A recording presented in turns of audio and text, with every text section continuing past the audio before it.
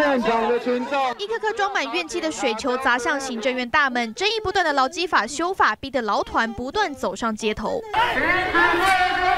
这些怒吼不仅民众看在眼里，也反映在赖清德的民调上头。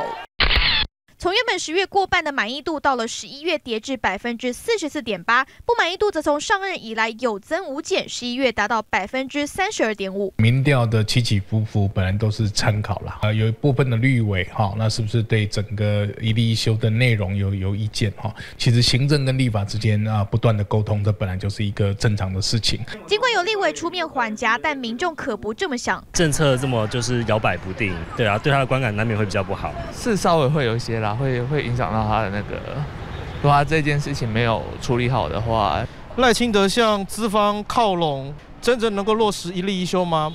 不可能。不止民众质疑赖奎向资方靠拢，平面媒体更对民进党六十九位立委做问卷，发现有一成的人反对松绑七休一，更有超过四成的绿委反对缩短轮班间隔。而赖奎更是连两天邀集所有绿委进行参叙沟通劳基法修法。国际的标准哈，轮班间隔都已经。